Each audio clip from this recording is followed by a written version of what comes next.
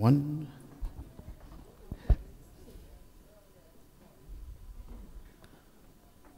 Oh, it's time.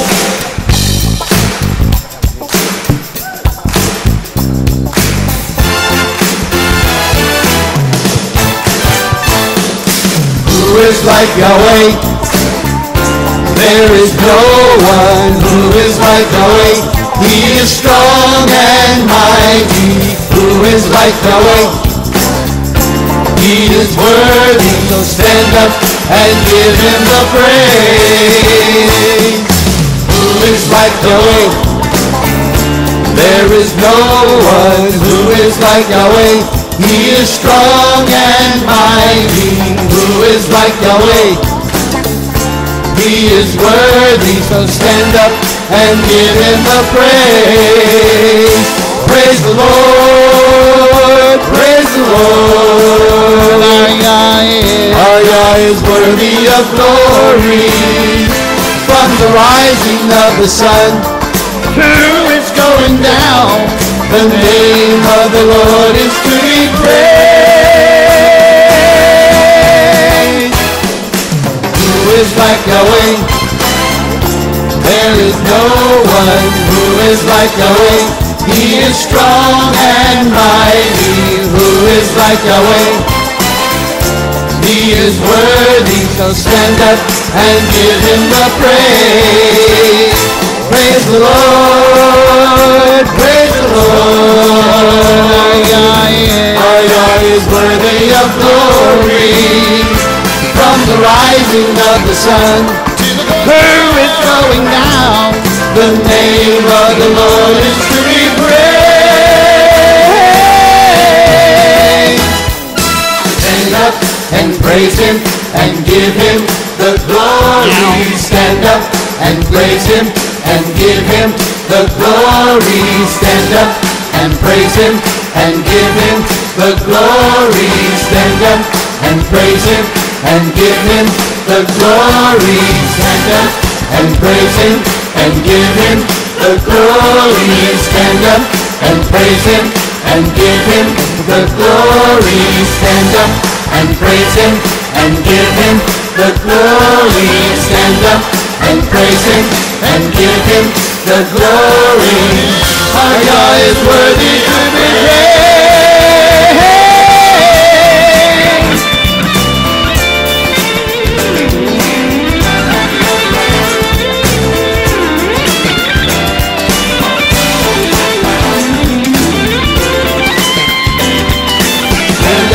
And give him the praise.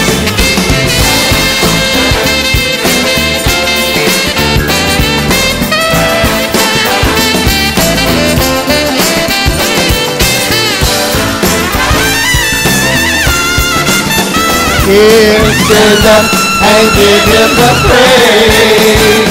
Praise the Lord, praise the Lord. Our God is, our is worthy of glory. From the rising of the sun, where it's going down, the name of the Lord is to be praised. Who is like Yahweh? There is no one who is like Yahweh. He is strong and mighty. Who is like Yahweh? He is worthy, so stand up and give him the praise. Come on and stand up and give him the praise.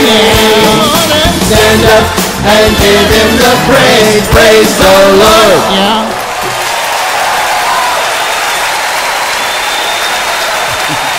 The Spirit of the Sovereign Yah is on me. The Spirit of the Sovereign Yah is upon me. Because Yahweh has anointed me to proclaim the full message to the humble. He has sent me to bind up the brokenhearted, to proclaim freedom for the captives and release from darkness for the prisoners. Proclaim the year of Yahweh's favor and the day of vengeance of our Elohim. To comfort all who mourn and provide for those who grieve in Sion. To bestow on them a crown of beauty instead of ashes.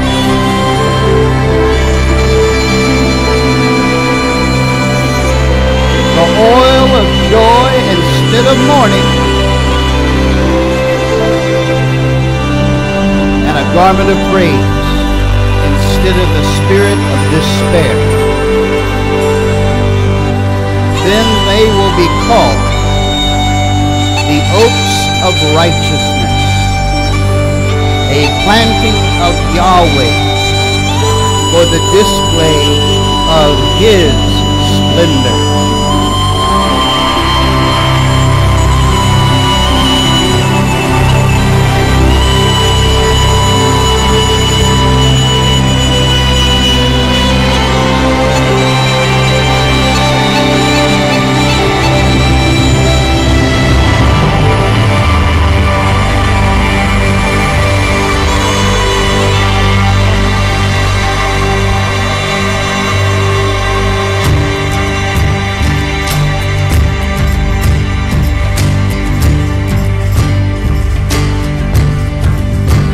On the garments of praise for the spirit of heaviness. Let the oil of gladness flow down from your throne. Put on the garment of praise the spirit of heaviness. My strength alone, my strength alone. Put on the garment of praise for the spirit of heaviness. Let the oil of gladness flow down from your throne. Put on the garment spirit of heaviness. Your joy is my strength alone. It's my strength alone. Make these broken, weary bones rise to dance again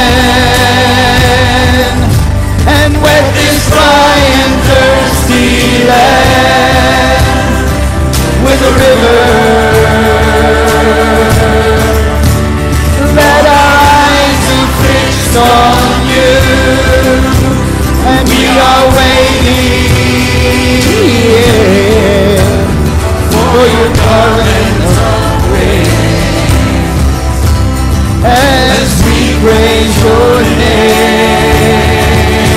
Put on the garment of praise for the spirit of heaviness. Let the oil gladness flow down from your throne. Put on the garments of praise for the spirit of heaviness. Oh, your joy is my strength alone. It's my strength alone.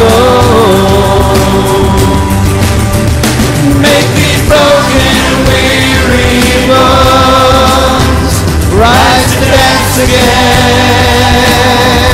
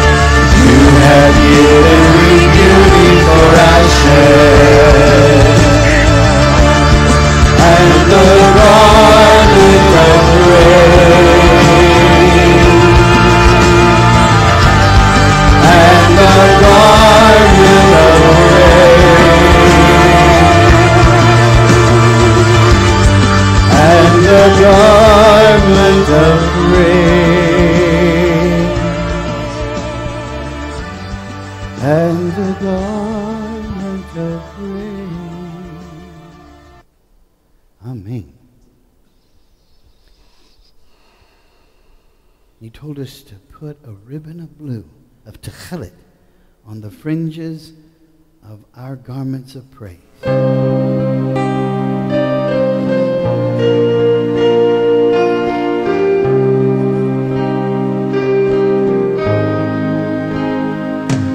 are wonderful, so worthy of my praise.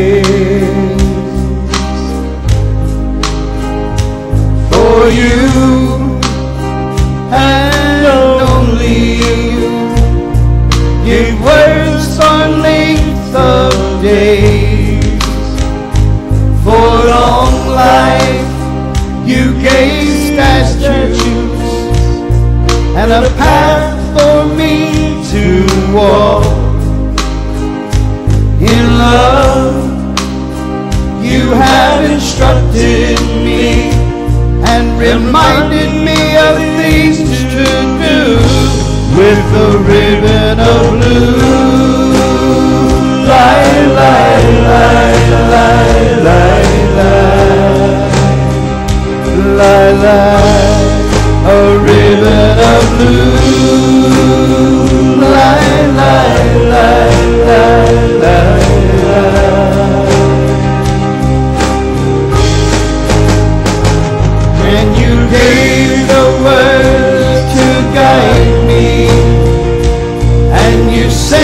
Yeshua to find me And the fringes are there to remind me With the ribbon of blue Lie, lie, lie, lie, lie, lie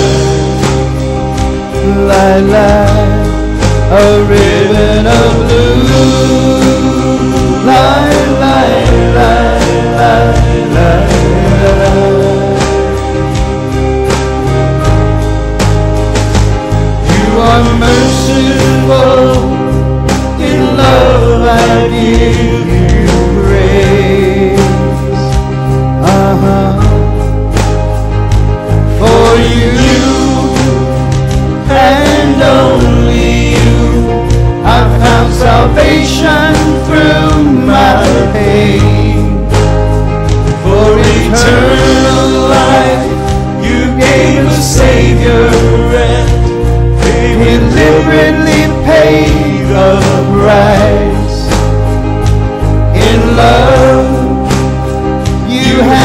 accepted me and reminded me I belong to you with a ribbon of blue. Lie, lie, lie, lie, lie, lie, lie, lie, a ribbon of blue. Lie, lie, lie, lie.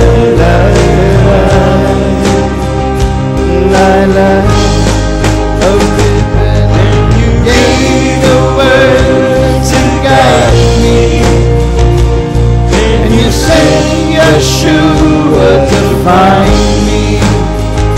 And the fringes are there to remind me With the ribbon of the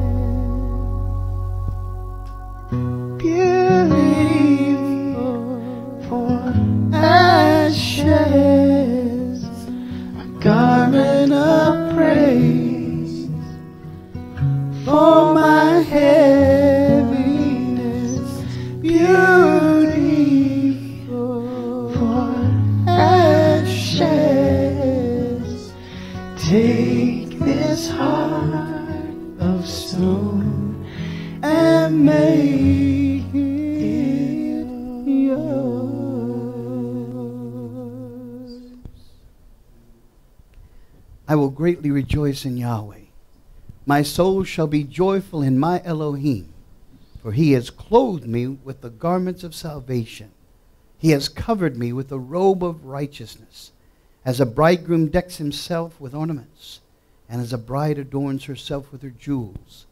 For as the earth brings forth its bud, as the garden causes the things that are sown in it to spring forth, so the sovereign Yahweh will cause righteousness and praise to spring forth before all the nations.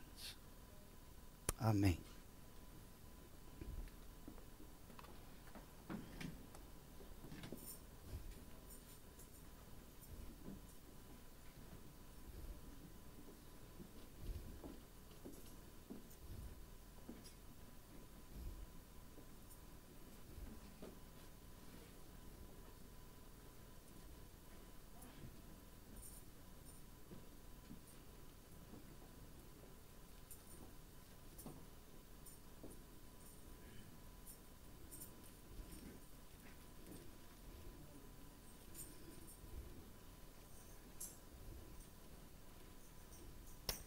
Get your Siddurs out.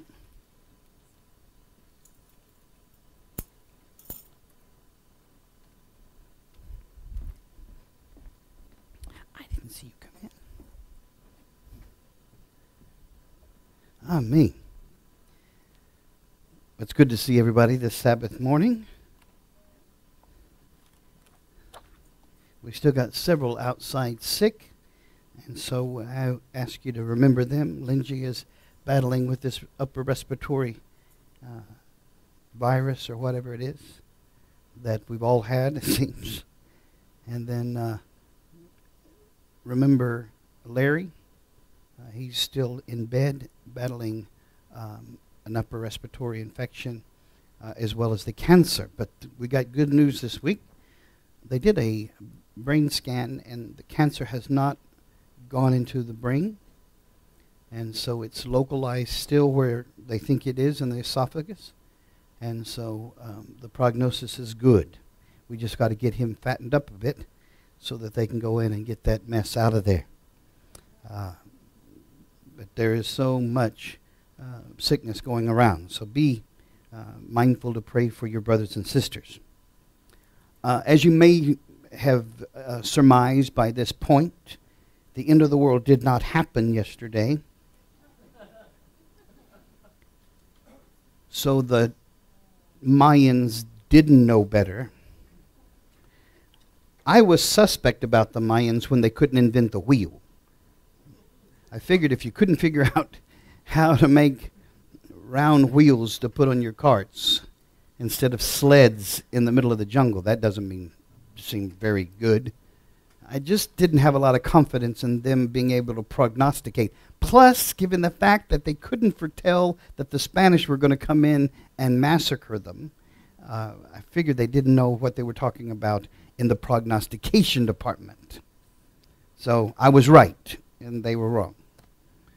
So greater is he that lives within each and every one of us than the Mayan winged serpent god.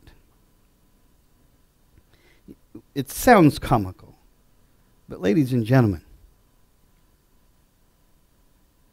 there are other people following other religions with equally as strange gods, as equally as silly prophecies, and they will all be shown to be false. Yesterday, I had someone in my office that came from Sri Lanka. And he asked me a question. He says, Why do I need religion when more people have been killed in the name of religion than for any other thing? And I said, That's a good question. And that is true. When your religion is violent, and nearly all religions are violent. We can look at the history of Muhammad. We don't have to surmise. Is Islam a religion of peace? We don't, we don't have to guess. It's not room for interpretation. We know that Muhammad historically converted by the sword. We know it. It's not up for discussion. It's historical fact. They admit it. The equally as violent were the so called enlightened Buddhists that forcefully converted those in Indochina. Same thing with the Hindus and the Sikhs, even the Christians with their crusades, killing thousands and if not millions of Jews and Arabs, and equally causing their own to be massacred. There's only one religion that has not forcibly tried to convert, but allows it to be a freedom of choice, and that's the faith of Yahweh. And we don't forcibly convert. We, we don't even aggressively convert. What we're called to do, arise, shine. For the glory is on you. Be a light to the Gentiles. We just be. We're that lighthouse on that ragged seashore that says, Be careful. the storm is raging and the shoreline is cruel. We're that light that says, Here is warmth, food, and shelter from a sin sick world. Come to the light. That's, that's deep. As you can imagine, this is the second week I've mentioned this person. Businessman here in town. Well, how come you haven't reeled him in yet? I'm giving a little play in this, a little slack in the line so that I don't pull the hook out of his jaw. I'm reeling him in. Why am I mentioning this? Because I want you just to be. People are watching your epistles known and read among men. People are watching you. How are you living? How are you living? Arise and shine. The fear of Yahweh is the beginning of wisdom. All who follow his precepts, like you, have good understanding. And to you belongs Yahweh, and to him belongs eternal praise. Praise Yahweh, my soul. Yahweh, my Elohim, you're very great. You're clothed with splendor and majesty. Yahweh wraps himself in light as with a garment, and he stretches out the heavens like a tent. Gentlemen, would you please stand? And ladies, would you hold on to your seat seats as we put on our garments of praise, our garments of salvation?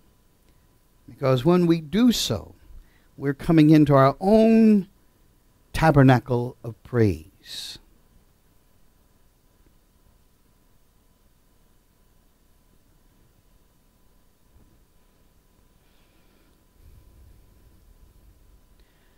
Baruch atah Yahweh, Eloheinu melech haolam, asher kadeshanu b'mitzvotav, vitzivanu al mitzvot tzitzit. Amen. Which means, Blessed are you, Yahweh our Elohim, King of the universe, who has sanctified us with his commandments, and has commanded us concerning the doctrine of tzitzit. And here is this doctrine. Throughout the generations to come, you are to make tassels on the corner of your garments, with a cord of techelet, a unique kind of heavenly blue, on each tassel. You'll have these tassels to look at, and so you'll remember all the commands of Yahweh, that you may obey them and not prostitute yourself by chasing after the lust of your own hearts and eyes. Then you will remember to obey all my commands and will be consecrated to your Elohim. Baruch atah Yahweh, Eloheinu melech haolam, asher kedeshanu b'mitzvotav, v'tzivanu lahitatev b'tzitzit. Amen. Which means, Blessed are you, Yahweh, our Elohim, King of the universe, who has sanctified us with his commandments and commanded us to enwrap ourselves with tzitzit.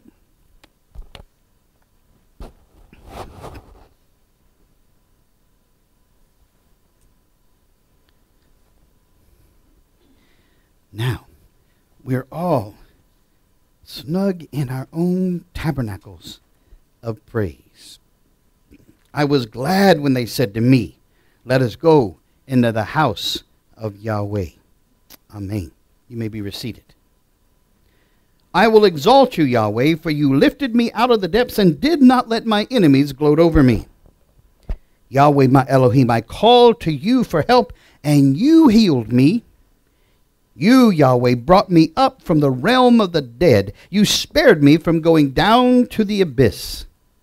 Sing the praises of Yahweh, you, his faithful people. Praise his holy name, for his anger lasts only a moment, but his favor, ah, that lasts a lifetime. Weeping may last only for the night, but joy comes in the morning. When I felt secure, I, I said, I'll never be shaken.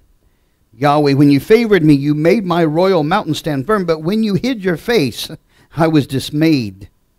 You, to you, Yahweh, I called. To Adonai, I cried for mercy. What is gained if I'm silenced? I said. If I go down to the abyss, will the dust praise you? Will it proclaim your faithfulness? Hear Yahweh and be merciful to me. Yahweh, help me. You turn my wailing into dancing. You remove my sackcloth and clothe me with joy, that my heart may sing your praises and not be silent. Yahweh, my Elohim, I will praise you forever. Amen.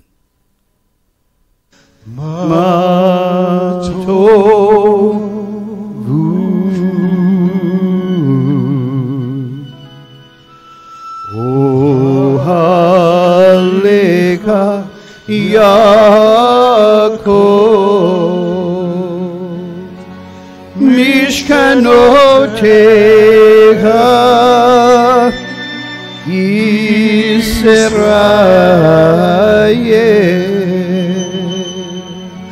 How goodly or thy tents, O Jacob, thy tabernacles, O Israel.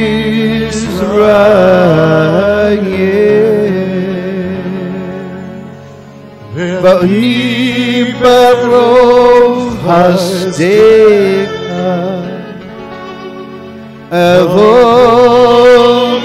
Kadosh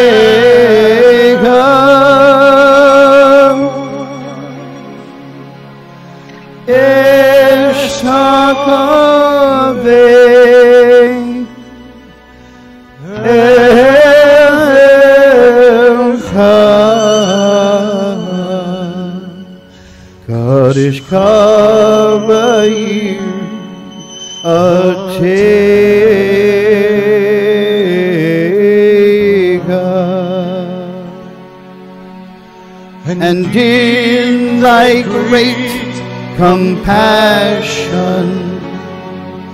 I will come into your house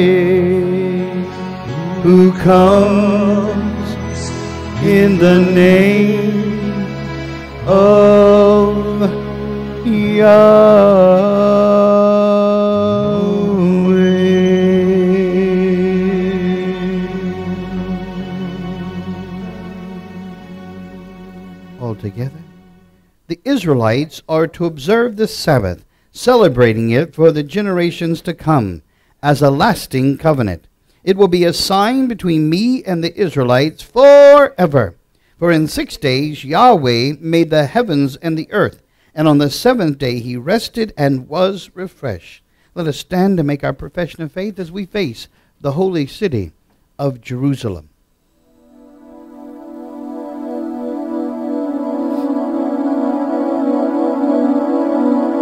Shema Israel, Yahweh Eloheinu,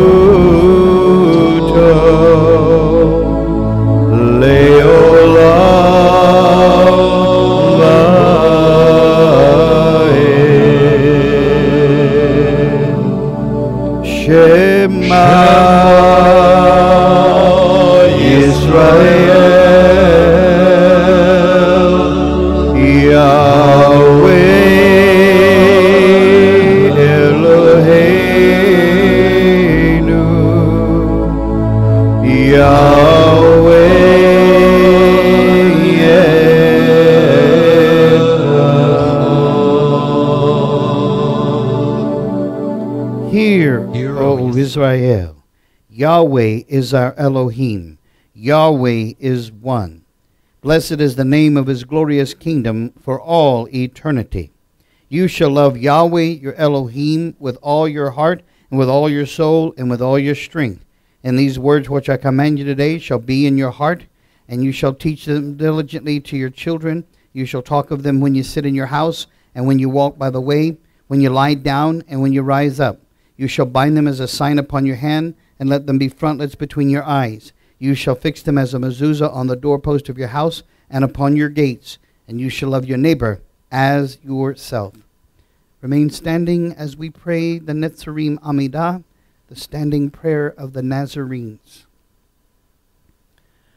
Our Father, which art in heaven, hallowed be thy name. Thy kingdom come, thy will be done in earth as it is in heaven. Give us this day our daily bread, and forgive us our debts as we forgive our debtors. And lead us not into temptation, but deliver us from evil. For thine is the kingdom and the power and the glory forever.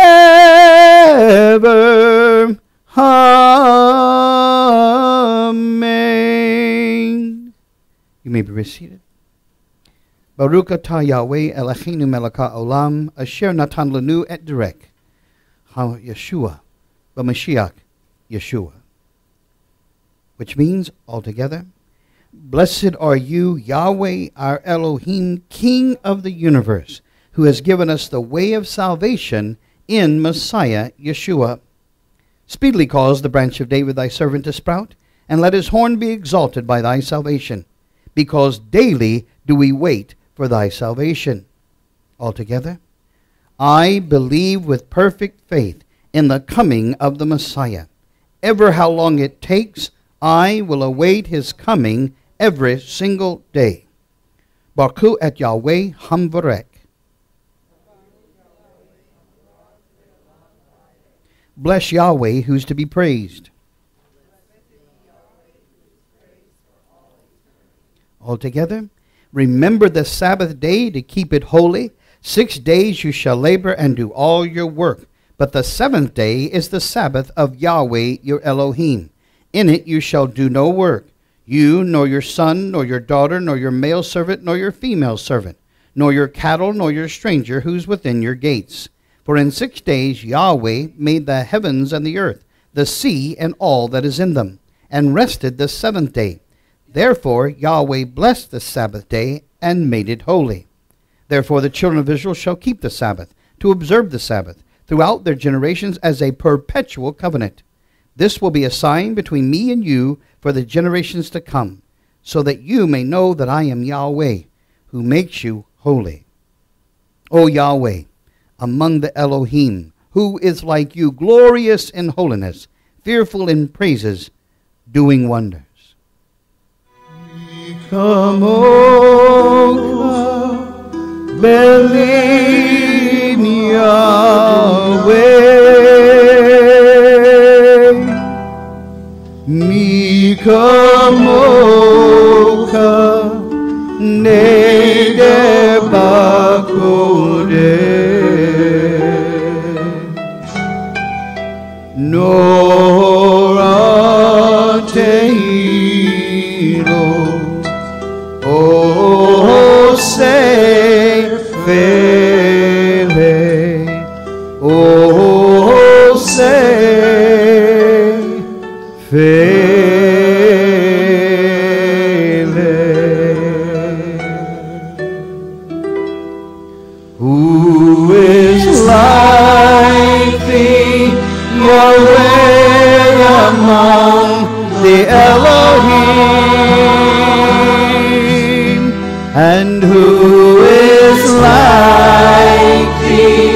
O Lord, there is none else.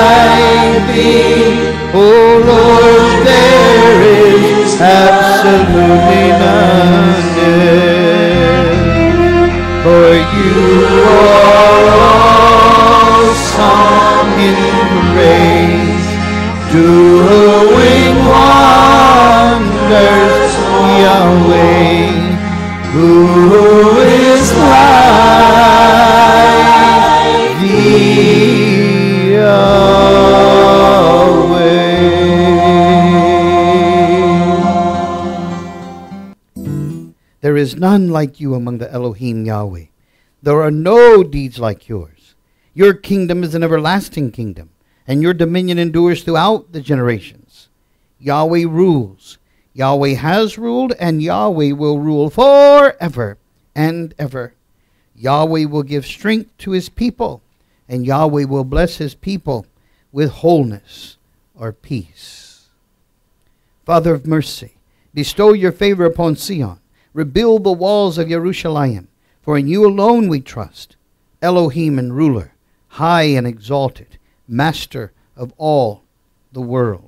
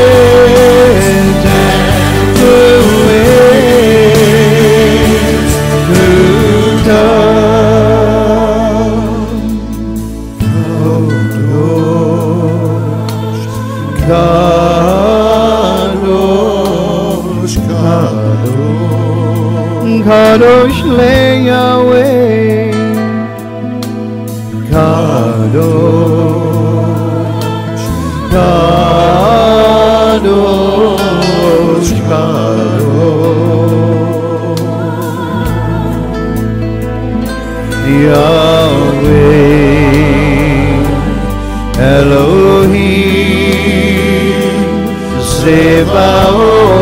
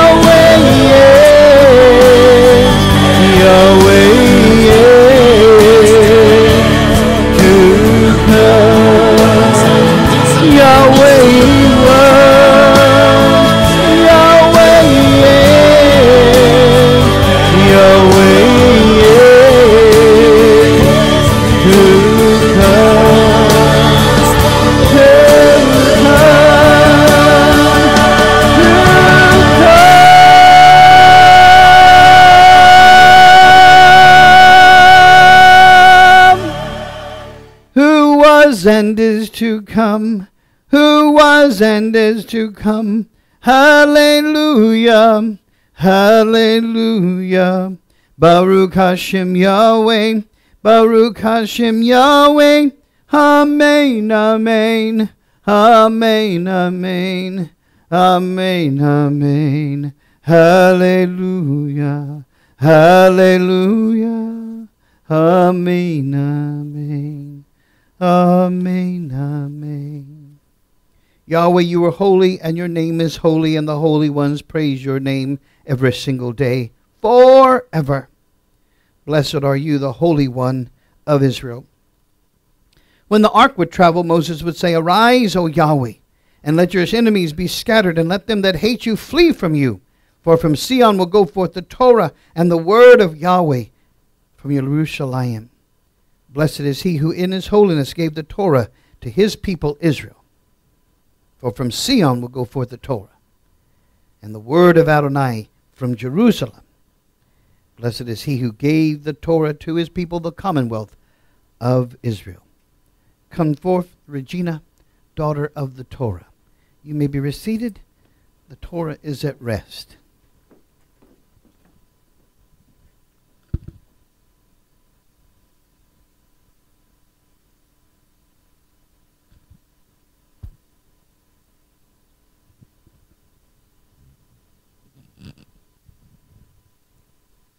Blessed is Yahweh who is blessed.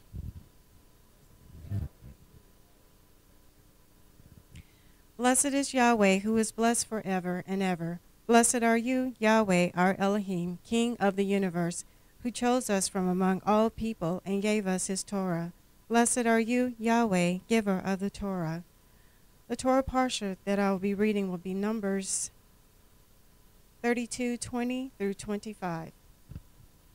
And Moses said to them, If you will do this thing, if you will go armed before Yahweh, and will go all to and go all of you armed over Jordan before Yahweh until he has driven out his enemies before him. And the land be subdued before Yahweh, then afterwards you shall return, and be guiltless before Yahweh and before Israel. And this land shall be your possession before Yahweh. But if you will not do so, behold, you have sinned against Yahweh, and be sure your sin will find you out. Build cities for your little ones, and folds for your sheep, and do that which has proceeded out of your mouth. As the sons of Gad, the sons of Reuben, spoke to Moses, saying, Your servants will do Adonai commands.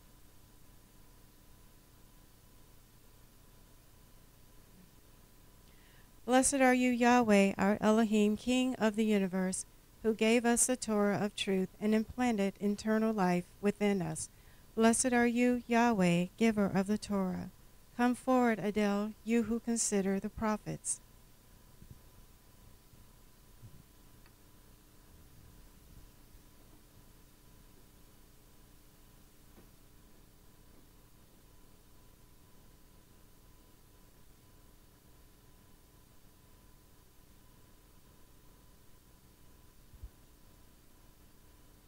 Blessed are you, Yahweh, our Elohim, King of the universe, who chose good prophets and was pleased with their words, which were spoken in truth.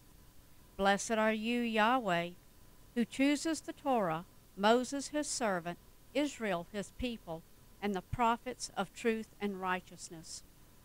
Our reading today will be from Jeremiah chapter 2, verses 17 through 21.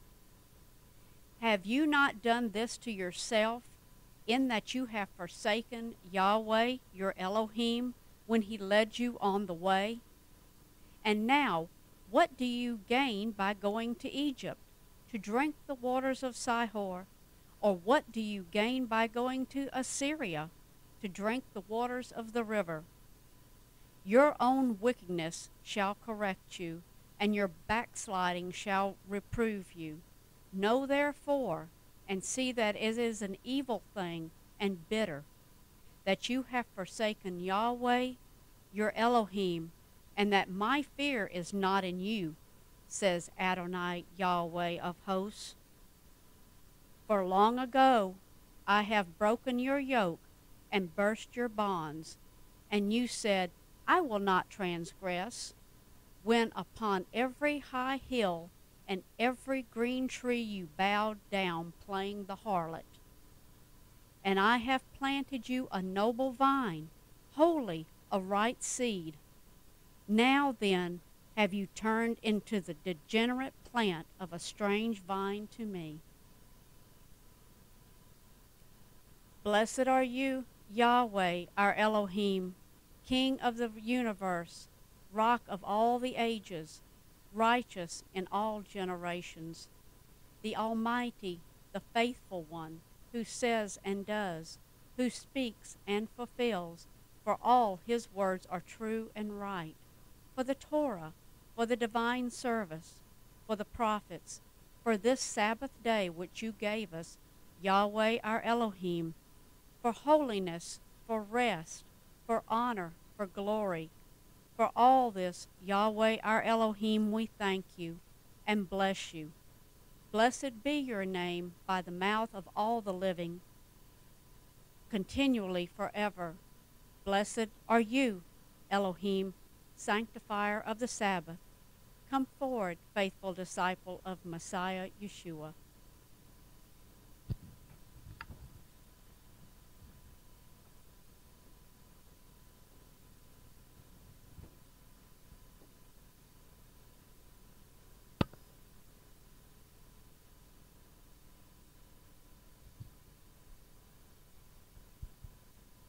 Blessed are you, Yahweh, our Elohim, King of the universe, who has given us his only begotten Son as our Redeemer, and has given a new covenant to the house of Israel, unifying the two into one new kingdom, the commonwealth of Israel. Blessed are you, Yahweh, who chose the original twelve apostles to bring this message of renewal to the lost sheep of the house of Israel, and have chosen us to carry on this work to shift Israel from the nations where you scattered them. May this reading serve the hearts of your people. The Nazarene scriptures will be from Acts chapter 6, from verse 8 through 15. And Stephen, full of faith and power, did great wonders and miracles among the people. Then there arose certain of the synagogue, which is called of the Lib- Libertines, Cyrenians, and Alexandrians, and to them of Cilicia and of Asia, disputing with Stephen. And they were not able to resist the wisdom and the spirit which, by which he spake. Then they instigated men which said, We have heard him speak blasphemous words against Moses and against Elohim. And they stirred up the people and the elders and the scribes, and came upon him and caught him and brought him to the council, and set up false witness, which said, This man ceased not to speak blasphemous word against the holy place and the law. And we have heard him say that this Yeshua of Nazareth shall destroy this place and shall ch- change the customs which Moshe delivered us. And all that sat in the council looked steadfast on him, saw that his face as it had been the face of an angel. Blessed are you, Yahweh, our Elohim, King of the universe, for ratifying the new covenant that gives to your people a law of return by the sacrificial blood of your Son, King Messiah, Yeshua. We thank you for giving us this full messianic message of the kingdom. We proclaim to you, all the world, the kingdom is at hand. For all this, Yahweh, our Elohim, we thank you and bless you. Blessed are you, Yahweh, who has renewed covenant with your people, Israel. Come forth, Gamaliel, and bring to Israel the song of truth.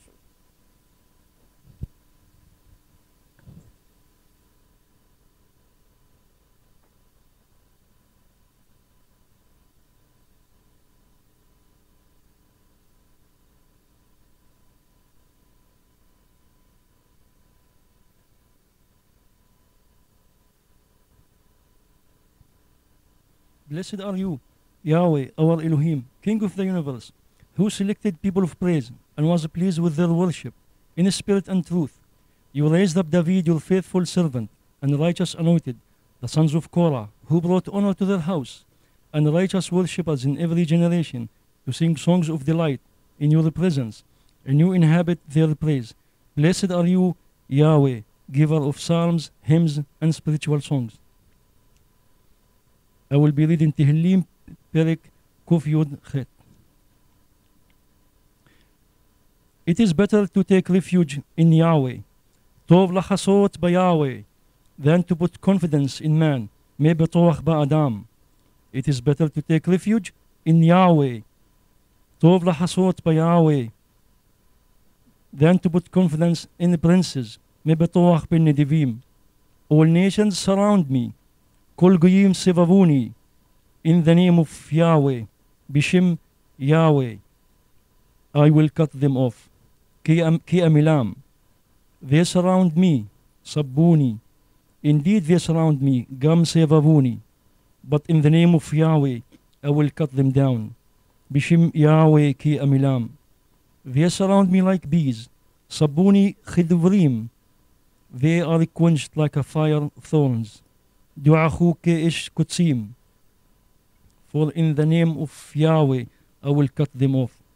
Bishim Yahweh ki amilam. They pushed me hard that I might fall. Dahuni dahuk dehutai linpol. But Yahweh, help me.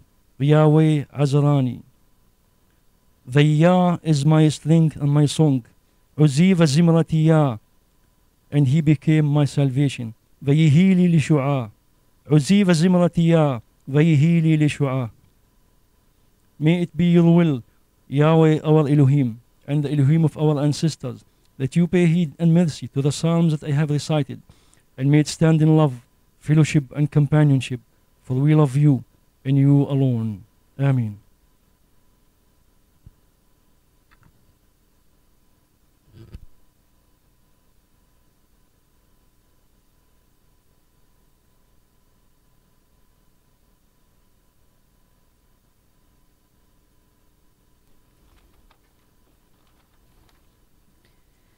This is the Torah which Moses placed before the children of Israel. Behold, a good doctrine has been given to you. My Torah, do not forsake it. Altogether, all that Yahweh has said, we will do and hear. It is the tree of life for those that grasp it, and those who support it are blessed. Its ways are the ways of pleasantness, and all of its paths are peace. Help us to return to you, Yahweh, and then truly shall we return. Renew our days as in the ancient past. Amen.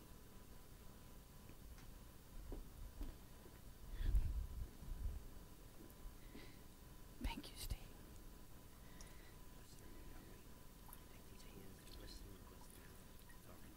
Amen. Amen. Thank you. Amen. All righty. You may be reseated.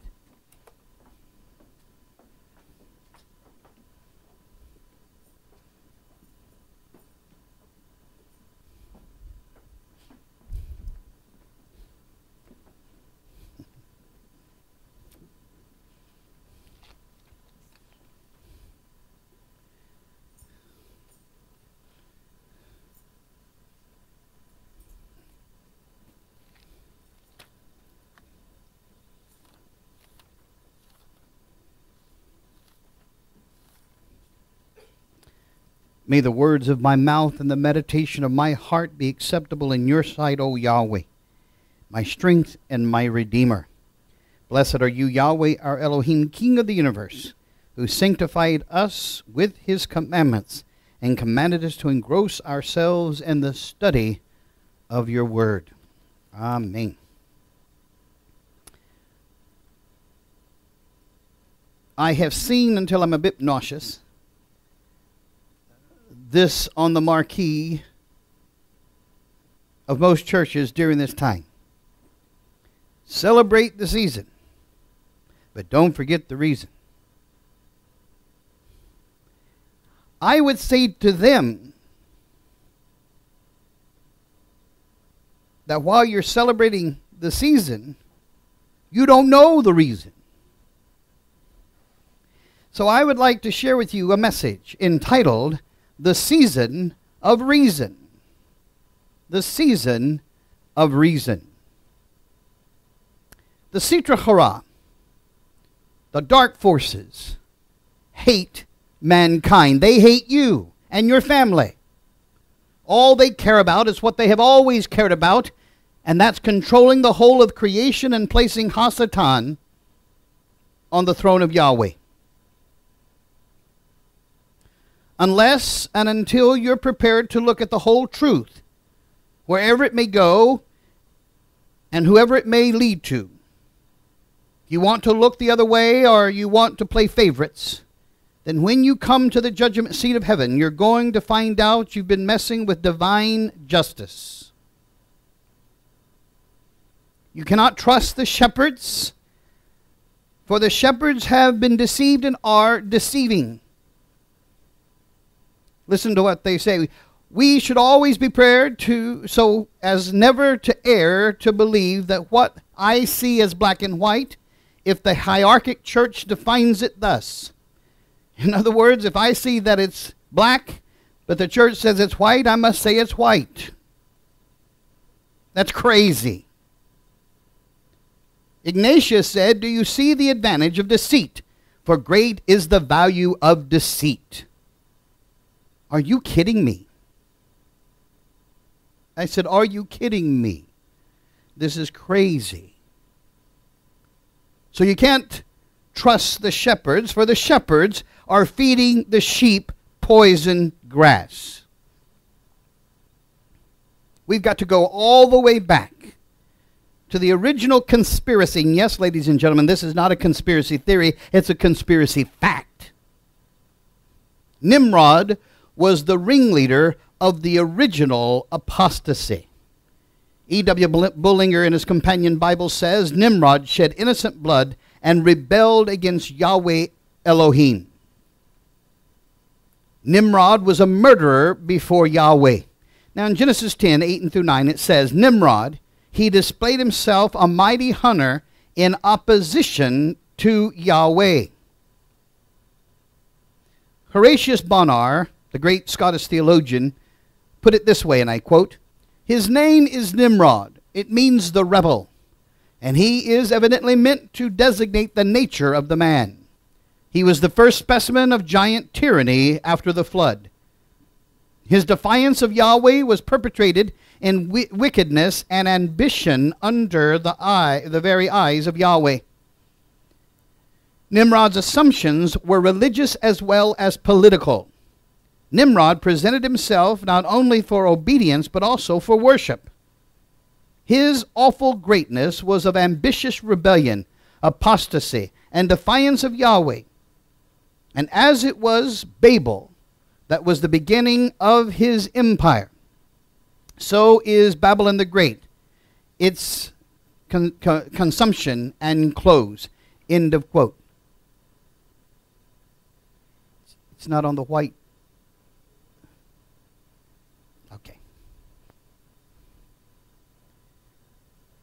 Harry Lancaster, in his book Narrow is the Way, says this, and I quote As the people increased in number, the way of Yahweh was corrupted, and a principal figure in those days was Nimrod, the grandson of Ham, described as a mighty hunter before Yahweh. The word before is used in this sense to mean totally antagonistic to Yahweh. We celebrate Christmas on the date which coincides with the birthday of Nimrod, the villainous king of ancient Babylon. End of quote. In Genesis 11, 1 and 2 says, Now the whole world had one language and a common speech. As people moved eastward, they found a plain in Shinar and settled there. They settled in that crescent valley where there are 28 different kinds of topsoil. As the earth is carried by the Tigris and the Euphrates, and there nestled between those two rivers is Babylon the Great, the mother of all mysteries.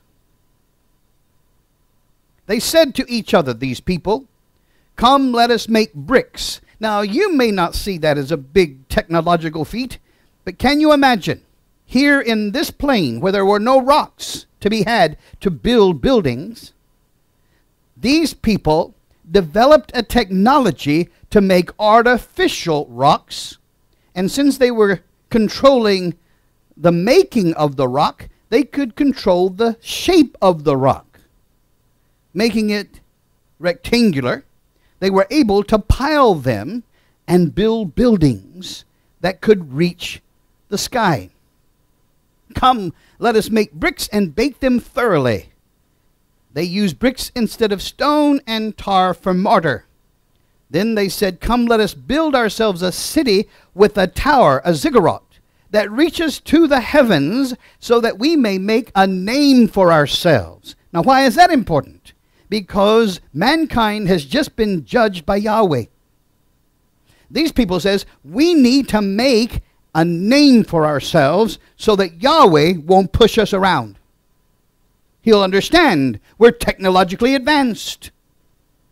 So we need to make a name for ourselves. Otherwise, we will be scattered over the face of the whole earth. Genesis 11, 3 through 4. And Yahweh came down to see the city and the tower the people were building. And Yahweh said, If as one people speaking the same language they have begun to do this, then nothing they plan to do will be impossible for them. Come, let us go down and confuse their language so they will not understand each other. So Yahweh scattered them from there all over the earth, and they stopped building the city. That is why it was called Babel, because Yahweh confused the languages of the whole world. From there, Yahweh scattered them over the face of the whole earth. Genesis 11, 3 through 9.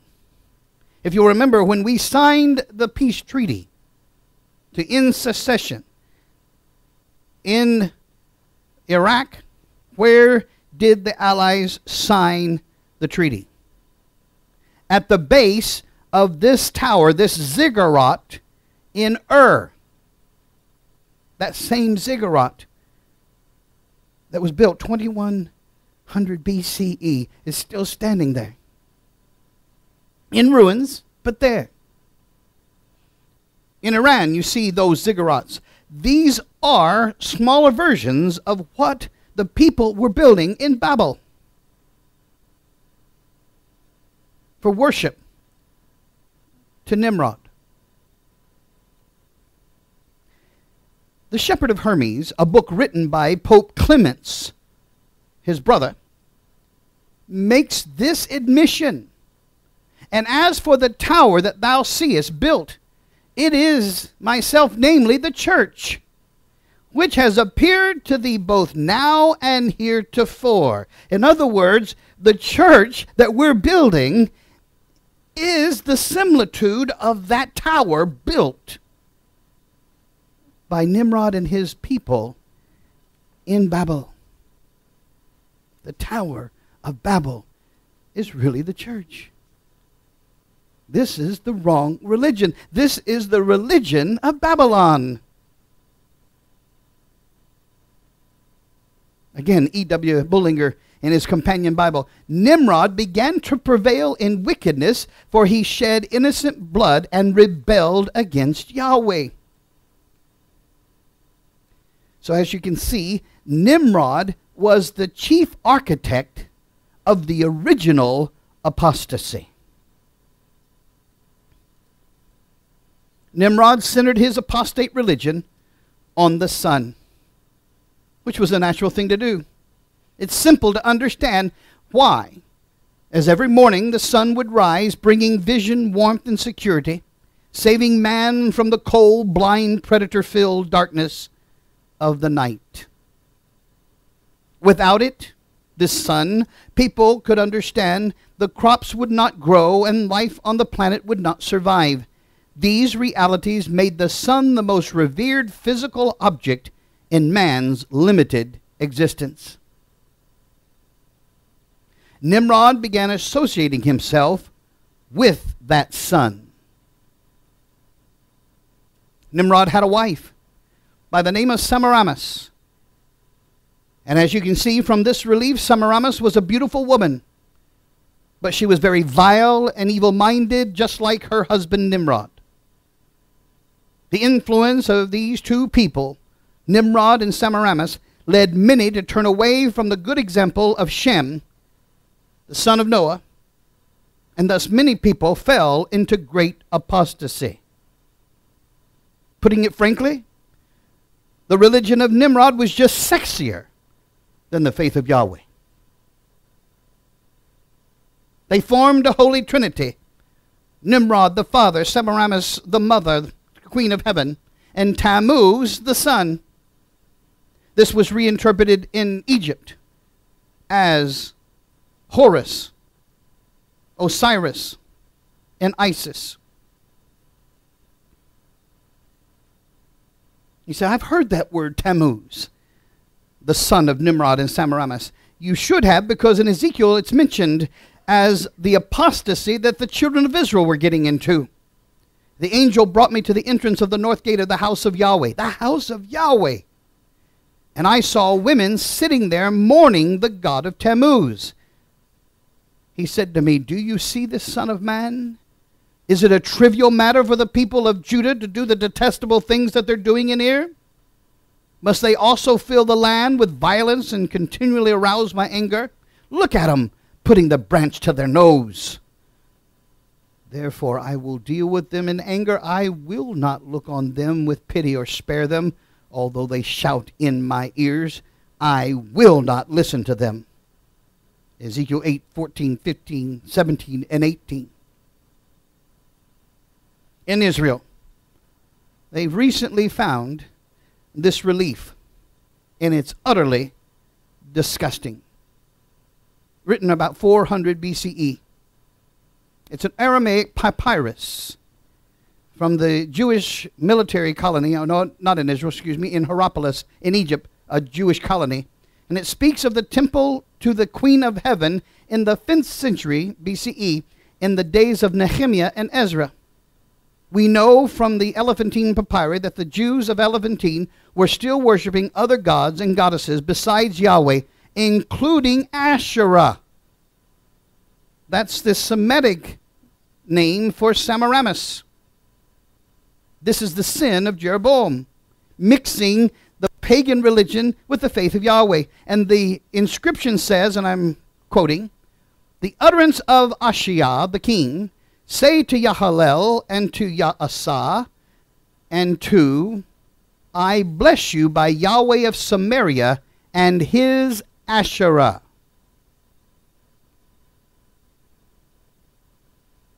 Jeremiah says, As for the word that thou hast spoken unto me in the name of the Lord, we will not hearken unto thee, but we will certainly do whatever thing goeth forth out of our own mouth, to burn incense unto the Queen of heaven, and to pour out drink offerings unto her, as we have done, we and our fathers, and our kings, and our princes, in the cities of Judah, and in the streets of Jerusalem.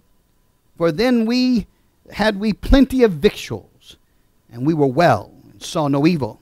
But since we left off to burn incense to the Queen of Heaven and to pour out drink offerings unto her, we have wanted all things, and have been consumed by the sword and by the famine. And when we burned incense to the Queen of Heaven and poured out drink offerings unto her, did we make her cakes to worship her, and poured out drink offerings unto her without our men? Seest thou not what they do in the street, cities of Judah and in the streets of Jerusalem? The children gather wood, and the fathers kindle fires, and the women knead their dough to make cakes to the Queen of Heaven, and to pour out drink offerings unto other gods, that they may provoke me to anger, Yahweh says. Jeremiah 7, 17 through 18, and Jeremiah 44, 16 through 19. These pagan gods, whether you call them Mithra, Zeus, Jupiter, Nimrod, it's all the same. Whether you call her Venus, Aphrodite, Ishtar, Semiramis, Asherah, it's the same apostasy, and it's disgusting in the eyes of Yahweh.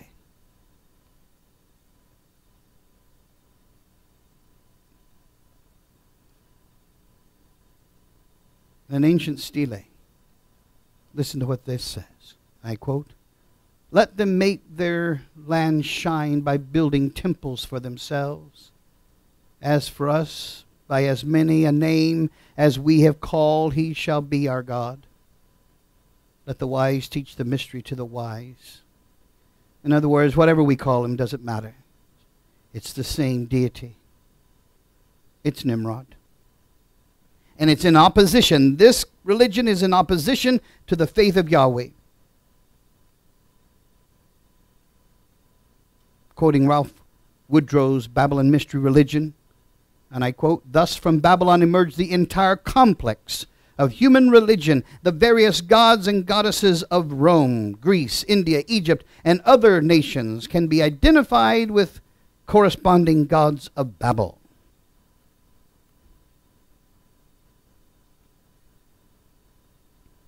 David Terrell's book, World Religions, says this, and I quote In his deified form, Nimrod, the sun god, is known as Baal. Mythology reveals the fact that the god Baal and the goddess of the Queen of Heaven were universally worshipped under various names and titles.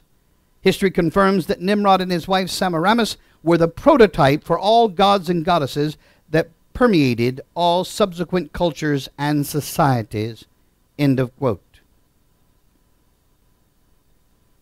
And I guess the most celebrated book on this subject is by the Episcopalian minister, Reverend Alexander Hislop, and his book, The Two Babylons, which was a serial in the London Times, printed uh, throughout from Halloween until Easter. And I quote Nimrod of ancient Babylon became both the husband and son of Semiramis and was worshipped as both God the Father and God the incarnate Son. In the, in the Bible, Nimrod was called Moloch in Assyria, and Nimrod was called Baal or Baal or Baalis, meaning Lord. End of quote. So, this mystery religion from Babylon doesn't get offended if you use the term God or whatever, unless, of course, you're using the term Yahweh. Now, that's offensive. In fact, the Vatican put out in August the 16th, 2008, that you shall not use the name of Yahweh in their services at all. You shall call him God. But that goes against the commandment. You shall not cause the name of Yahweh your Elohim to be nothing, for Yahweh will not hold him guiltless who causes his name to be nothing. Exodus 20 and 7. So, this religion of Babylon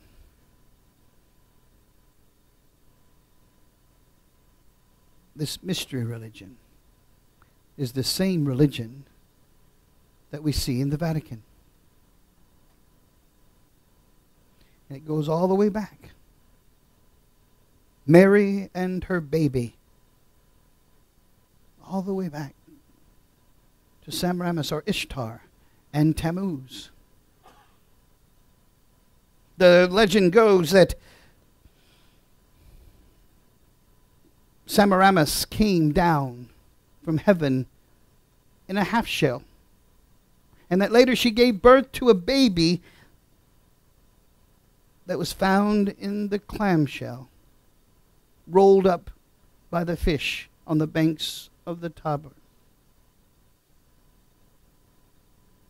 Or Venus. Her half shell pu- pushed up by the dolphins to Ephesus. It's all the same crazy story. The 25th of December was celebrated in ancient days as the birthday of the unconquerable sun, virtually variously known as Tammuz, Mithras, Saturn, Adonis, and Baal. Christendom chose the date of September or the 25th of December to be the birth of Christ because it was already the popular birthday of all the sun gods around the world. In the book Man and His Gods, it says this, and I quote The winter solstice, December the 25th, was the time at which all the sun gods, from Osiris to Jupiter and Mithra, had celebrated their birthdays. End of quote. We can't mention in the school the story of Yeshua and his birth. But this is a popular children's book in the school libraries.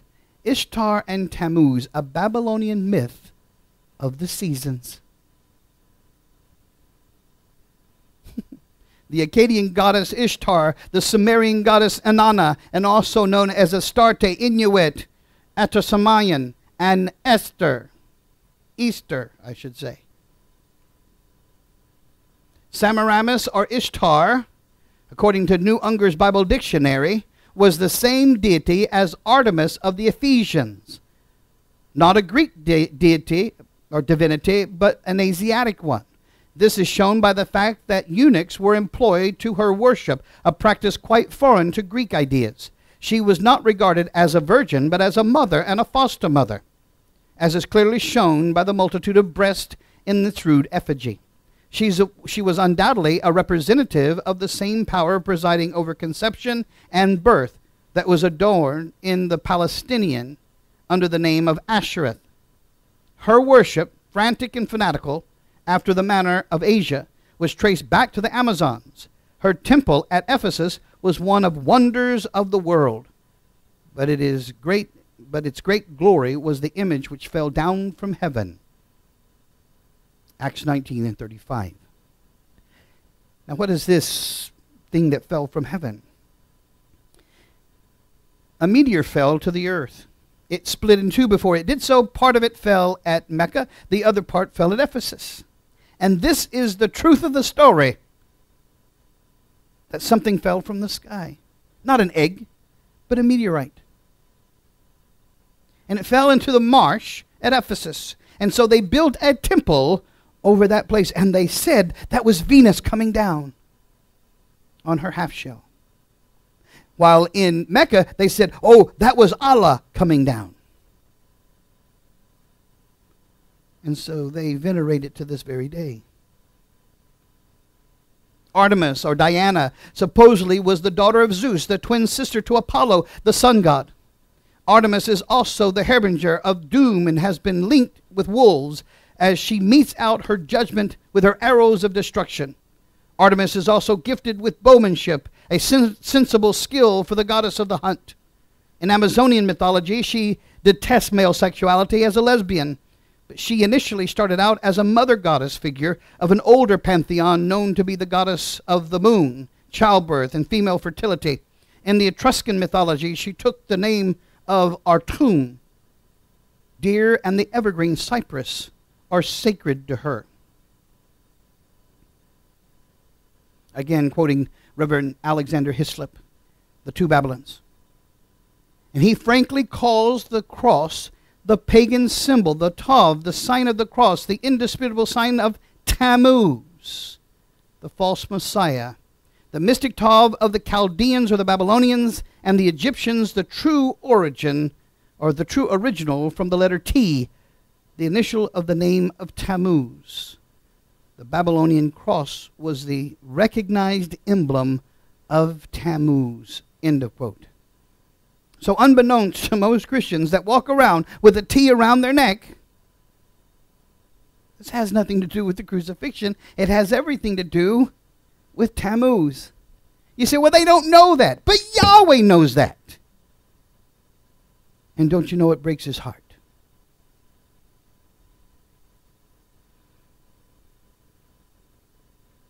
In Egypt, Nimrod was known as Horus, the sun god of Egypt. He is the sun, anthropomorphized or personified, and his life is a series of allegorical myths involving the sun's movement in the sky. From the ancient hieroglyphs in Egypt, we know much about this reinterpretation of Nimrod. For instance, Horus, being the sun or the light, had an enemy known as Set, and Set was the personification of the darkness or night. Darkness versus light, or good versus evil, is the most basic of mythological dualities ever known and is still expressed on many levels to this day. If you want a good story, you have good versus evil. Every morning, Horus would win the battle against Set, while in the evening, Set would conquer Horus and send him into the underworld. In the myth of Horus, was born on the 25th of December of the Virgin Isis Miri. His birth was accompanied by a star in the east, which in turn three kings followed to locate and adorn the god man. After being betrayed by Typhon, Horus, Horus was murdered, his body scattered in pieces. When his mother and wife finds out, she gathers the scattered pieces and puts them in a box, buries them, and laments. Out of the ground springs up an evergreen tree, and thus Horus is resurrected. Isis Miri gives birth to Osiris the sun in the spring, and she declares him to be Horus reincarnated, and so the cycle begins all over again. And in fact, the mother is always seen as giving been given power by the sun, so she must be worshipped as in her idol form as the Madonna. So, on this, the solstice, the shortest day of the year. And in some horizons, the sun doesn't even come up. It, the sun is dead and is lamented or mourned. But then the day after the solstice, the sun is seen again on the horizon. And then the days get longer. From that point on, the days get longer and longer and longer until we get to the spring equinox with the rebirth And where is that sun going to poke up on the next day after the solstice? Right where the three kings, those three stars, point to.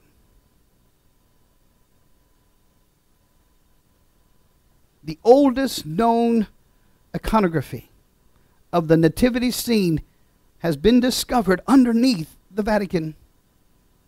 Here we see the Madonna, and there is Balaam pointing to a star. There below it, you see those three kings from Babylon coming to find the sun. Here, Christ is seen as Apollo. And Apollo, the Christ, is seen as the good shepherd between the two trees, evergreen trees. Down here, you see the halo of Helios, the sun god, and you see Christ as portrayed as Helios in Roman tunic in the subfloor of St. Peter's Basilica in Rome. Why? Because this used to be the place for the worship.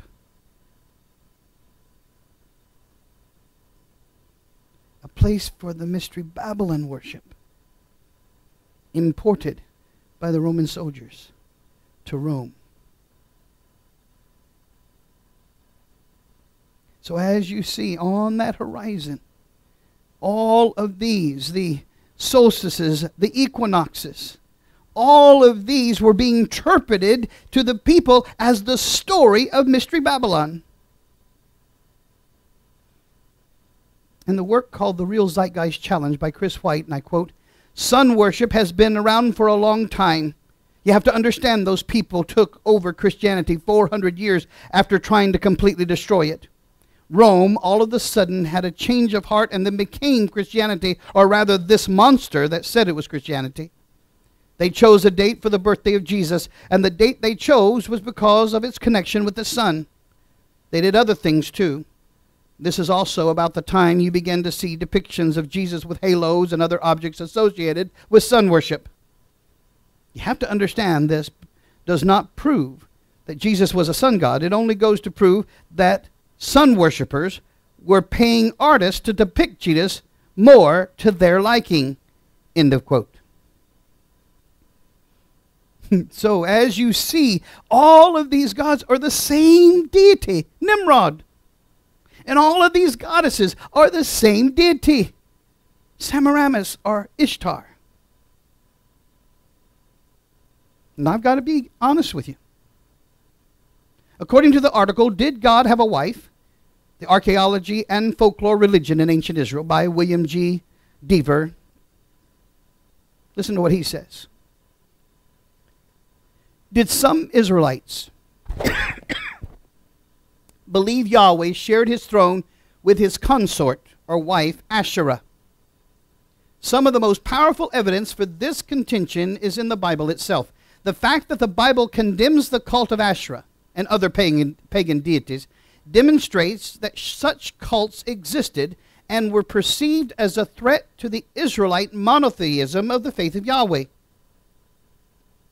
Based on the biblical text alone, we can conclude that many ancient Israelites, perhaps even a majority, worshipped Asherah or Astarte, the queen of heaven, and perhaps other female deities.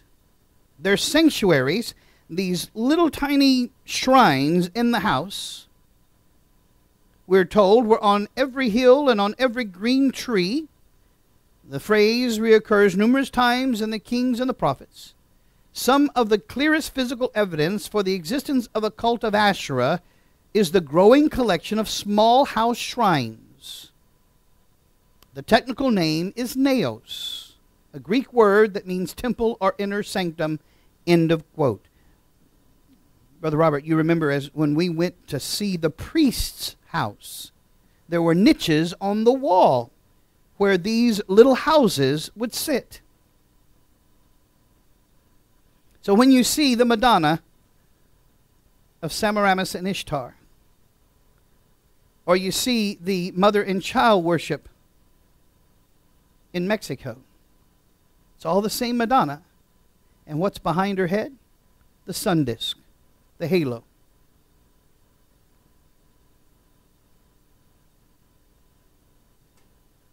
whether we're talking about the Egyptian goddess Isis and her son Horus, or the Roman Catholic Mary and the God incarnate Jesus, or the Babylonian Semiramis and Tammuz. It's all the same. Attis of Phrygia, born of Nana on the 25th of December. Krishna of India, born on the as the eighth son of Devaki, with the star Rohini signaling his coming. Dionysus of Greece, born of Semele and Zeus on December the 25th. Mithra of Persia, born of a rock on December the 25th. And the sacred day of worship of Mithra was Sunday. Hindus borrowed their myth of Krishna from Christianity. The parallels come from the Bhagavad Gita Purana, dated from the 7th to the 11th century CE, and the Harivamsa, dated from the 4th to 6th century CE. In other words, the similarities only appear in Hinduism 250 to 950 years after the Messianic scriptures were written. So the Hindus flat out copied the Yeshua story, not vice versa. According to Martin Palmer's book, The Jesus Sutras, and I quote, Christian missionaries reached India and China early between the 5th and 7th centuries. This explains how the Hindus were able to borrow from Christianity. End of quote. Andre Boulanger says, and I quote, the conception that God, Dionysus, dies and is resurrected in order to lead his faithful into eternal life is represented in no Hellenistic mystery or religion. So they borrowed it from our faith. In the first apology by Justin Martyr, he says this, and I quote, These things were said both among the Greeks and among all nations where they, the demons, heard the prophets of Israel foretelling that Messiah would specially be believed in. But that in hearing what was said by the prophets, they did not accurately understand it, but imitated what was said by our Messiah, like men who are in error, we will make plain. End of quote.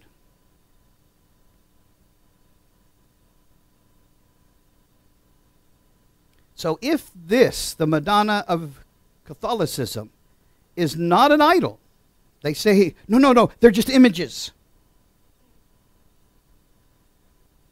Well, then these things here, the pagan Madonnas of the Eastern religions, can't be called idols, but images. No, ladies and gentlemen, all of these are idols. recently. This was seen in the USA Today. First Christmas held at Roman Lupercal, or the Wolf Shrine. A recently discovered pagan shrine dedicated to Rome's legendary founder Romulus and his brother Remus is being linked by some experts to the first celebration of Christmas held on the date that still marks the, this festive holiday. Last month, Italian archaeologists unveiled an underground grotto which they believe ancient Romans worshipped as the place where a wolf nursed the legendary twins of Rome. Now, a top Italian scholar thinks a church built on the same site of the shrine was where Christmas, where Christians first oh, excuse me, where Christmas was first marked on December the 25th, making it a symbolic place in efforts to link pagan practices with Christianity. So, and next time somebody says Merry Christmas to you, you say, oh, well, here's wishing you and yours a happy Saturnalia. celebrate the season, but don't forget the reason indeed. The reason is sun god worship. Listen to what the Catholic Encyclopedia says. The date of Christ's birth is not known. The Gospels indicate neither the day nor the month. According to the hypothesis suggested by H. Usener uh, and accepted by most scholars today, the birth of Christ was assigned the date of the winter solstice, December the 25th, in the Julian calendar, January the 6th in the Egyptian, because on this day, as the sun begins to return to the northern skies, the pagan devotees of Mithra celebrated the Dies Natalis Solis, the Invicte, the birthday of the invincible sun, on December the 25th. Aurelius had proclaimed the sun god principal patron of the empire and dedicated a temple to him in the Campus Martius. In other words, the mountain or hill of Mars, Mars Hill, where the Vatican is. Christmas originated at a time when the cult of the sun was particularly strong in Rome. End of quote. The New Catholic Encyclopedia, Volume 3, page 656. They admit these things. They admit that Constantine took all of the religions of his realm and ran them through a grinder to, to come up with the multi headed beast called Mystery Babylon. Constantine's Christ was really Apollo or Apollyon. You see this in his coinage that gives homage to the invincible sun. You can see that in his halo, the beams coming off, and then we see the Christ underneath him. Same thing. You see this in the baby Jesus in the manger with his beams coming off of him. Merry Christmas indeed. Who is this Apollyon? Listen to this. When the abyss was open, smoke rose from it like the smoke from a gigantic furnace. The sun and sky were darkened by the smoke from the abyss. The angel of the abyss, his name in Hebrew is Avadon, but in Greek it is Apollyon, the destroyer. Revelations 9, 2 and 11. Proverbs 15:11 says, "Hell and Abaddon are before Yahweh, how much more than the hearts of the children of men?" The church originally taught that Apollyon was none other, was just another name for the resurrected and enthroned Jesus Christos, who is the personification of Jehovah, the destroyer. How do you get that? Well, when you look at the name Jehovah, it's a compound of two words. Yeho and Hova.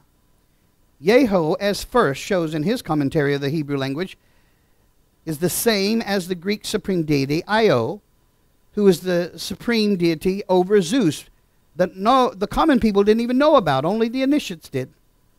The Chaldeans had a Yeho as the supreme deity over Nimrod. The true key of this mystery deity was communicated to the initiates of the Babylonian mysteries only as Yeho, the triateral or trinity, as explained by the Hierophants. The Phoenicians had a supreme deity whose name was Yeho. He too was a trinity and a secret. Yeho was the sacred name in the Egyptian mysteries, which signifies the one eternal and concealed deity. And to this they added Hova, which means ruin and disaster, from the word Ava, which means to do perversely. The J was added in the 14th century. So Jehovah then is the God of ruin and disaster, or the destroyer. But Constantine wasn't the first to make a hybrid deity for the masses. No, that went to Ptolemy the First, called the Soter, the Savior, in 367 BCE and reigning to 283 BCE. He was a Macedonian general under Alexander the Great who became the ruler of Egypt and took the title of Pharaoh, even though he was a Greek. He decided to produce a religion that would be acceptable to both the local Egyptian population and the recent influx of Greek immigrants and visitors. The Greeks would not accept an animal headed deity, and the Egyptians did not want to be Hellenized. So Ptolemy introduced the cult of Serapis, which was a hybrid of Osiris and Apis with the appearance of Pluto. As the official cult of his new state, Ptolemy hoped a common religious base would unify the two peoples and ease tensions within the Ptolemaic kingdom. One thing is clear this composite god Serapis became the true symbol of the new religiosity and the changed outlook of the new Greeks in Egypt. Serapis. The fusion of Osiris and Apis was a Greek or a Greco Egyptian god. He was invented during the 3rd century BCE at the orders of Ptolemy.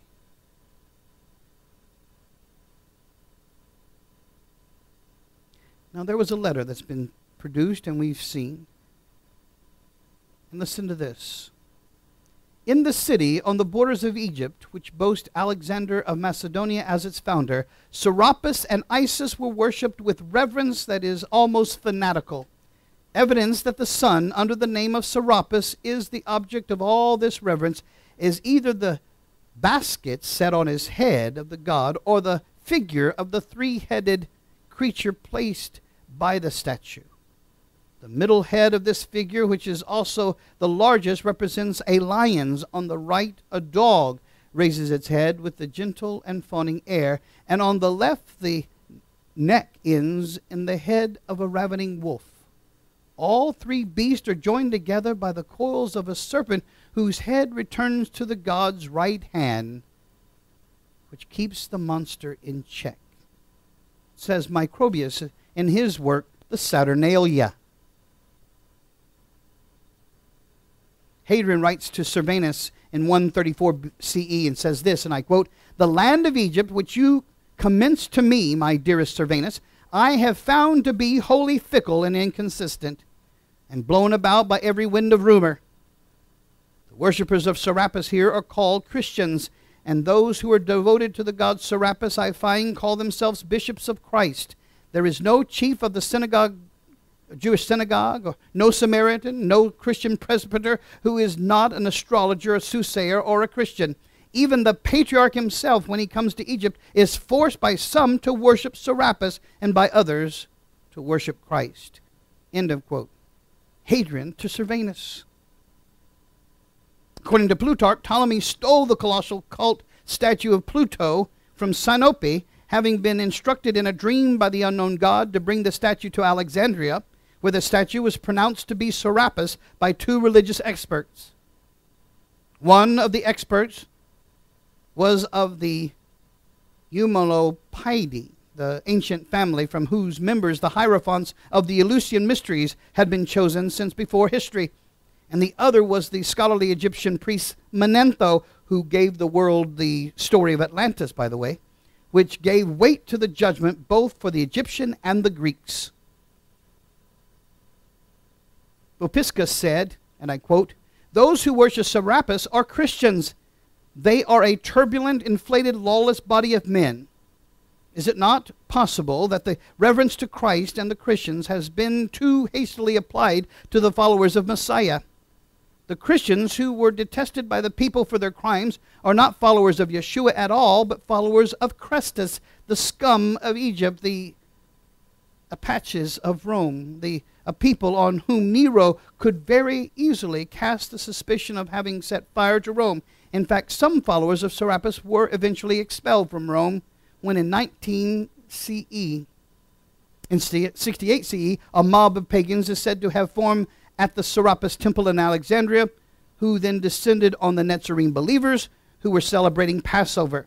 And there they seized Johannes Marcus, dragging him through the street before throwing him into prison.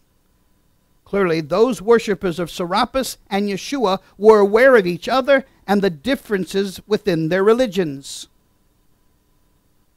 So Constantine's official new Roman god was part Zeus, part Serapis, to get Jesus Christos, the Jesus Christ.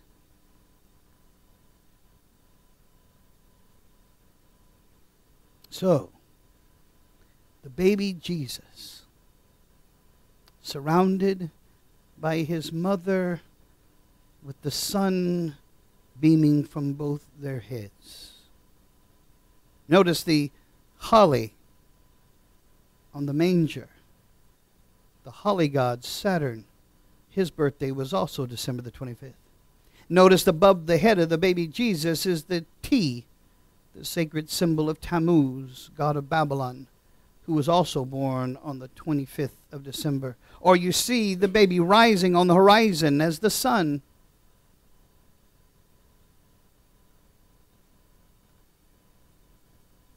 the entire earth is lying in the power of ancient Babylon and the spell cast by Nimrod and Semiramis.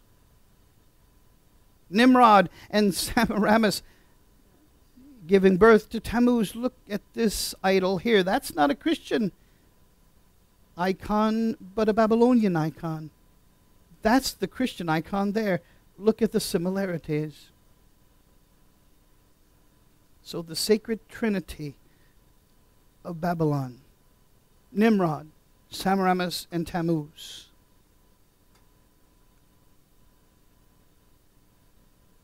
All belong to Mystery Babylon. But being the whore of Babylon was considered a secret wisdom in the book called Theosophia of the Gnostics, found at Nag Hammadi. Listen to this.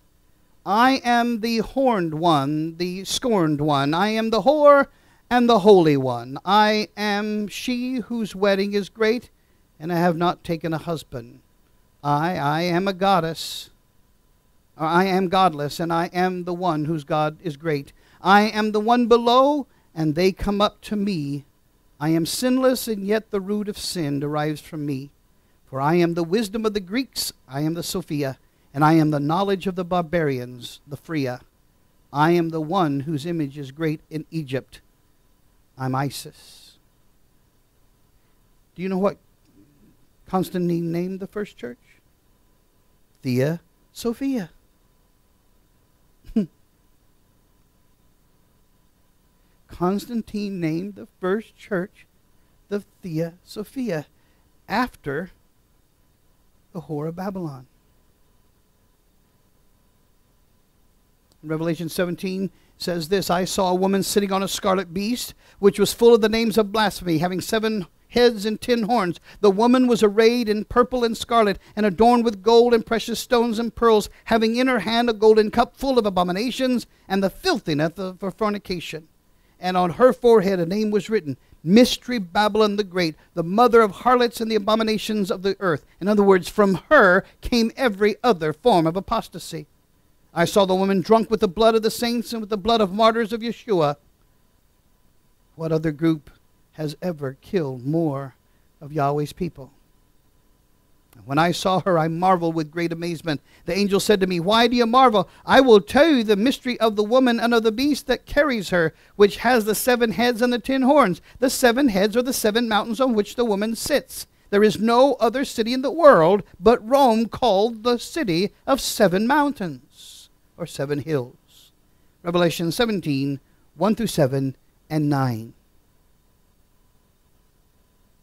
This mystery Babylon, this church. According to Malachi Martin, a Jesuit priest and a member of the College of Cardinals, he wrote in his book, The Decline and Fall of the Roman Church. By the 7th century, every known blood relation of Christ had been exterminated. Remember, she was drunk on the blood of the martyrs of Messiah. So Mystery Babylon brought the genocide of Messiah's own family, own flesh and blood family. So I've told you what the lie is. I would be remiss if I didn't tell you the truth. Therefore, the sovereign himself will give you a sign. Behold, the virgin shall conceive and bear a son, and shall call his name Emmanuel. Isaiah 7:14, which is translated El is with us, quoted in Matthew 1:23. Emmanuel, a compound word from Amam, meaning together, and El, the mighty one of Yahweh, meaning that El or Yahweh is gathered with us. He is the express image, the Adam Kadmon of the invisible Elohim, the Ein Sof, the firstborn of all creation. In other words, the Son of Yahweh. For through him all things were created that are in heaven and that are on earth, visible and invisible, whether the thrones or dominion or principalities or powers. All things were created through him and for him, and he is before all things, and in him all things consist. And he is the head of the body, the assembly, who is the beginning of the firstborn from the dead. That is, in all things he may have preeminence. Colossians 1 15 through 18. We're told in Deuteronomy 16 13 through 17 and Leviticus 23 celebrate the Feast of Tabernacles for seven days. For Yahweh so loved the world that he gave his only begotten Son, that whoever believes in him should not perish, but have everlasting life. For Yahweh didn't send his Son into the world to condemn the world, but that the world through him might be saved. John 3 16 and 17. For unto us a child is born, unto us a son is given, and the government will be upon his shoulders, and his name shall be called Wonderful Counselor, Mighty El.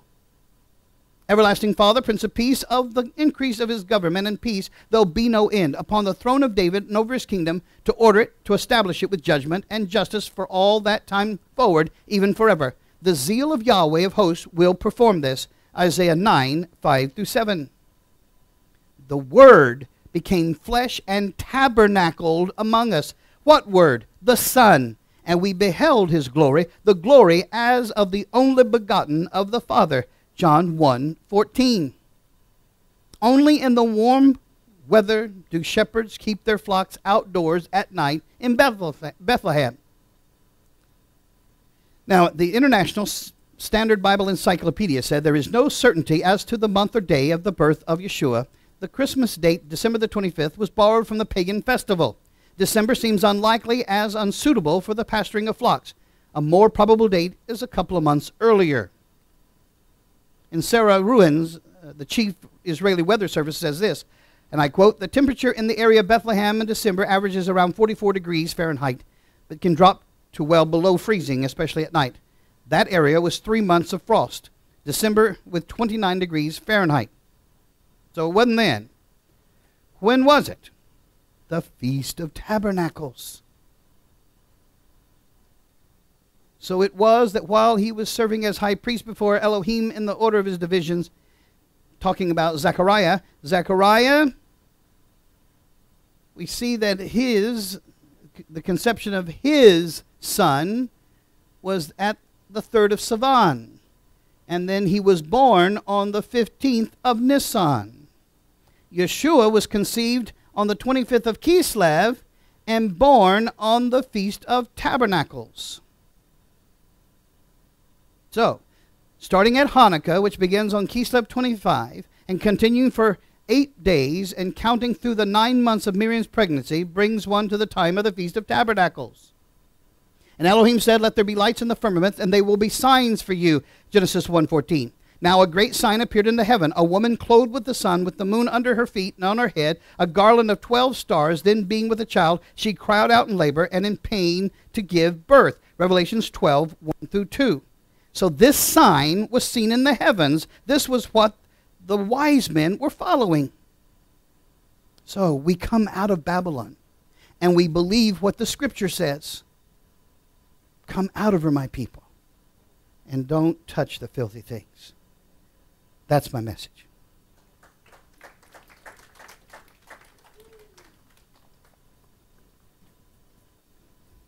You say, well, that gets so uncomfortable, Rabbi. Sure, it does. You know why? Because the pagan goes to your marrow of your bones. Your people, my people, we believed this, didn't we? You see, a myth is an idea that, while wildly believed, is false. In a deeper sense, in a religious sense, a myth serves as a, an orienting and mobilizing story for the people. The focus is not on the story's relation to reality, but on its function. A story cannot function unless it's believed to be true in the community or the nation.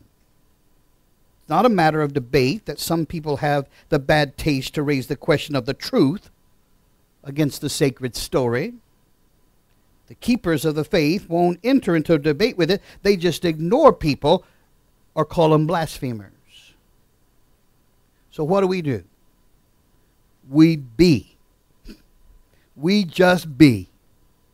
And because we stand firm and we let the light shine in us, people notice. And they're attracted to our light. When people say, Well, you don't keep Christmas, do you? No.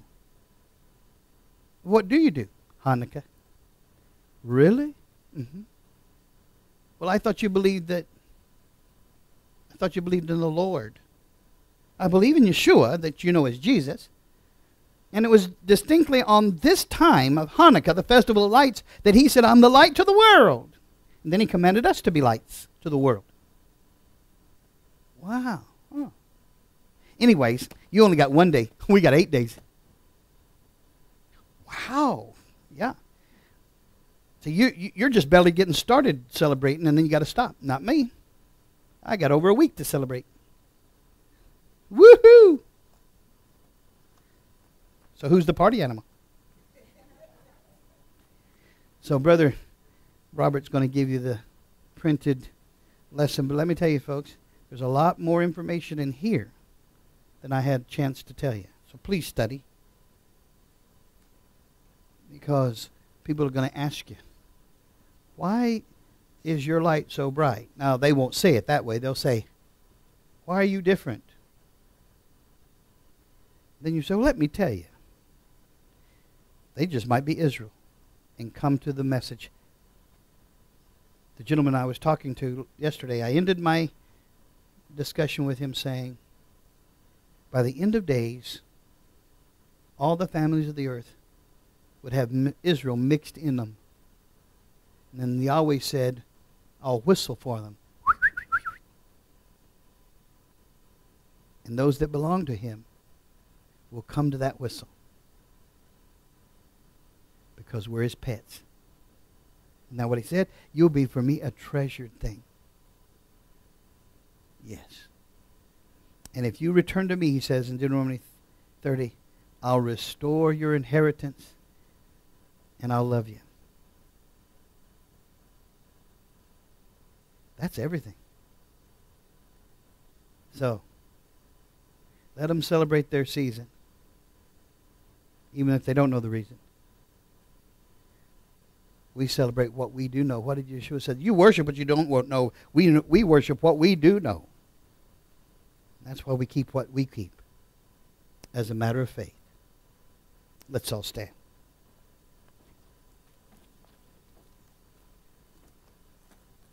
I don't know about you, but I always like to, to back the winning team. We're on the winning side, ladies and gentlemen. This thing's going to wrap up soon. I think we're in the fourth quarter. And we're winning. And they've run out of timeouts. I mean, how many of you are hungry? Well, good. I am too.